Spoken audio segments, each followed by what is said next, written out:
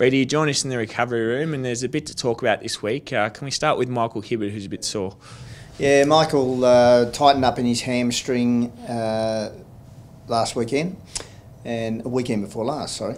And uh, unfortunately, he's got a low hamstring, uh, and it's a minor tear there. Uh, because it's low, they often can play on, which he did for a quarter, um, and then just tightened up. So he's going to miss a couple of weeks, probably three from the incident.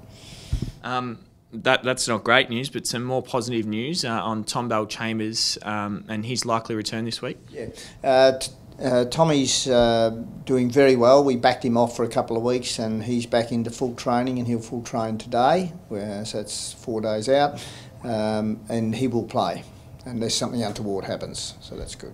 That's really good news. Uh, Marty Gleeson, another one that's likely to come back. Uh, Marty Gleeson was just having uh, low grade tendonitis for four to five weeks. Uh, so we took a conservative approach and we expect him to play uh, this week and train fully today. That's really good news. Uh, and then I guess there's the two two uh, major injuries we've got at the moment in Joe Daniher and, and his clavicle, and how's that recovering? Uh, Joe's an interesting one because he's uh, he did a training and he's got an underspace fracture.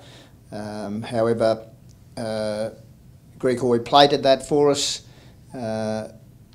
because then they can play at four weeks. So approximately you'll miss another two after this week. Um, Jobe Watson, the other one, how's he recovering? He's still still on track. Yeah, Joe's on track uh, with a rectus femoris repair.